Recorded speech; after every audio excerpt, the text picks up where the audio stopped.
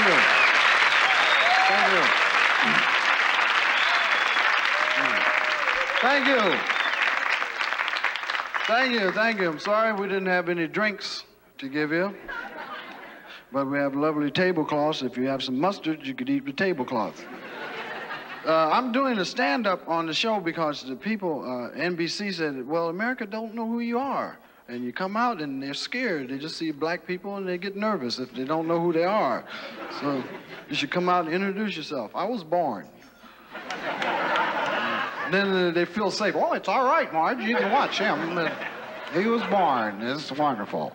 And um, I feel like a kid. I love children because they talk so straight. Why, why, why, na, na, na, na, na, na, na love the way they be singing, right? This is the dawning of the age of Aquarius. Aquarius. And you ask them questions, they never answer you straight, right? They go, what happened? I win, win, first, first in, first, first in when we went in, Jimmy then, then he had, then he pulled things, and, and, and I didn't do it. No matter what you ask them, they'd be, and when they cuss, they're great. You know, they go, poo poo dooey poo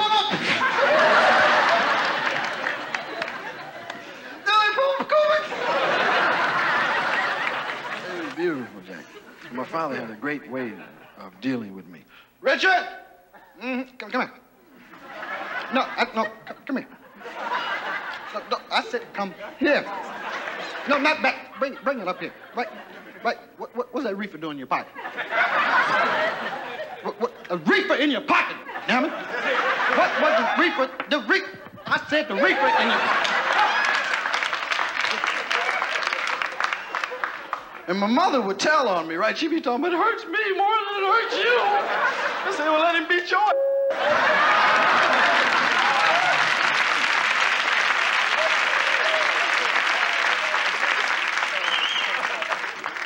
Kids and hillbillies are my favorite people. Because hillbillies are like children, too. You know, they, they don't know what they're talking about either, you know.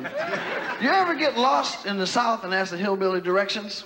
They tell you the history of the world, but they never tell you where you want to go. I say, how do you get down? Well, I'll tell you what you do, boy. You take junction 35 and you drive down about 14 miles. You make a left turn up there by the big hog sign. Uh, Jed Wells built that hog sign up there back in 1927. And it has a big snout coming out of it, because I remember, old boy, had a semi, I was driving down through there and the jackknifed on him and just flipped over the road.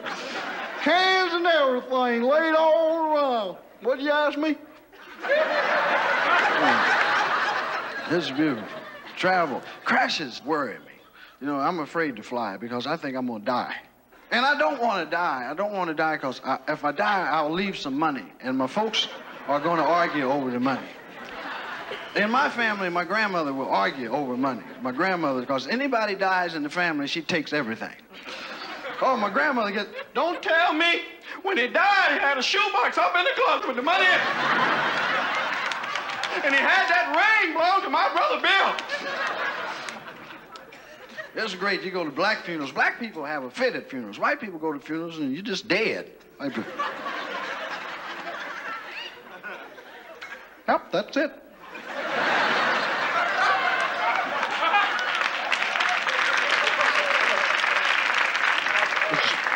Is, is that dirt necessary? You know, black people fall out of funerals.